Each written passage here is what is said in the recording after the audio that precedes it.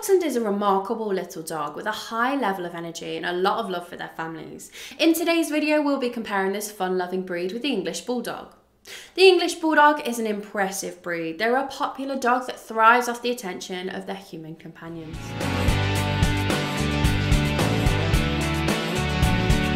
Welcome back to the Fenrir Dachshund Show. If this is your first time here, my name's Charlie and I'm a certified canine leader here at FenrirCanineLeaders.com. This channel is dedicated to helping you learn everything you could possibly want to know about the Dachshund, then how to become high-level canine leaders that can raise the perfect Dachshund. So, if you're a lifelong lover, thinking about getting one, or just started your journey with your new pup, then this is the channel for you.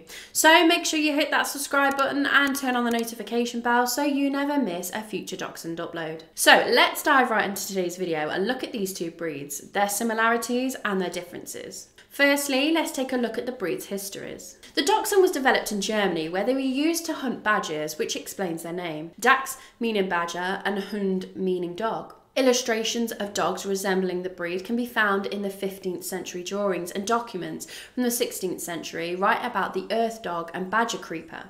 Dachshunds were also used to hunt den animals including foxes and rabbits, and packs of dachshunds would trail wild boar. The breed continued to develop and was refined in Germany over many years by German foresters in the 18th and 19th century. They wanted to create a breed that was fearless and elongated that could dig into burrows and go into these burrows to fight the animal to death if necessary. Smooth coated dachshunds were the original type and believed to have been created through breeding with the Braque, a small French pointing breed, and the Pinscher, a small terrier type ratter. It's thought that the French Basset Hound may have played a part in the development. The long-haired dachshunds were most likely created through crossing with spaniels and the wire-haired dachshunds through crossing with terriers.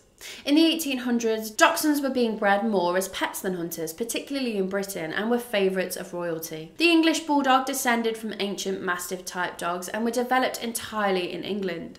The very first mention of this breed was in the 1500s, where the dogs were used in bull baiting, which was where the dogs would grab onto the bull's nose and roughly shake it, which was thought to tenderise the bull's meat. The early bulldogs were much taller and heavier than the bulldogs we have today.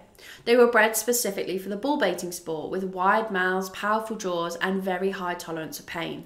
After several years of controversy surrounding the sport, in 1835 bull baiting was outlawed in England, and because at the time bulldogs were not seen as companions, people were worried about the consequences of the breed.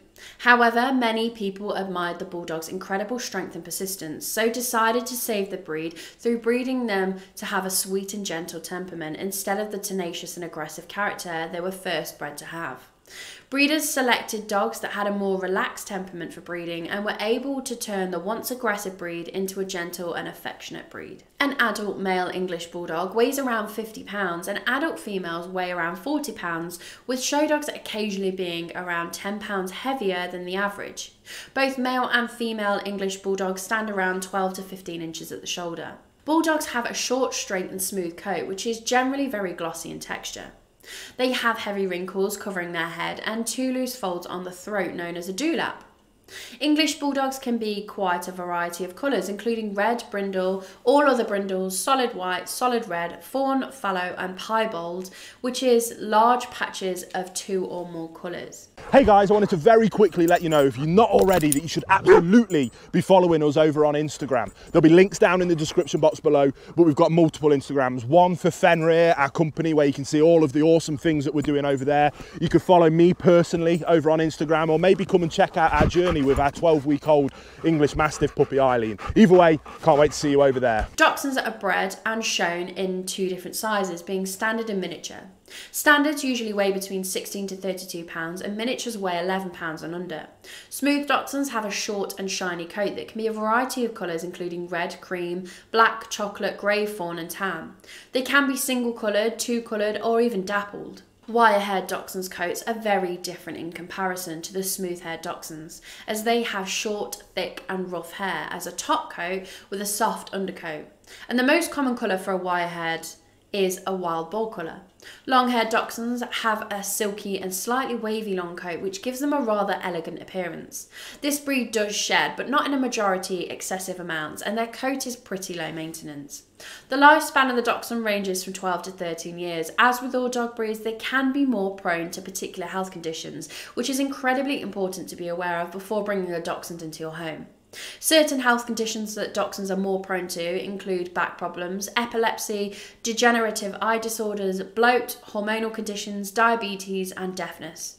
English bulldogs are also prone to particular conditions due to breeding, especially that of eye problems including cherry eye, dry eye, and entropion, plus a syndrome found in dogs with short heads and narrowed nostrils where the airways are obstructed. They can also suffer from head shakes, mange, hip dysplasia, tail problems, and other bone and joint conditions. English Bulldogs are sociable dogs with a sweet and loving nature. They have a courageous character and can make an incredible watchdog.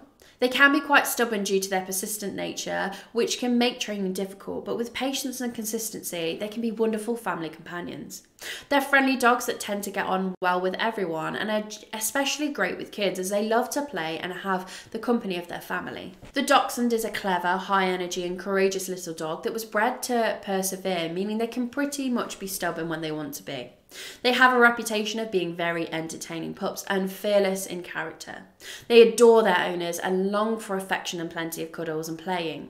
Like every breed, Dachshunds need to be socialised from an early age in order for your pup to grow into a well balanced adult dog that's less wary of strangers and unfamiliar dogs or other animals. Well, I hope you enjoyed today's video. If so, make sure you hit that like button and get involved down on the comment section below. And don't forget, if you are new here, to make sure you subscribe. We have two dedicated Dachshund videos coming here every single week. So I can't wait to talk to you again on the next episode of the Fenrir Dachshund Show.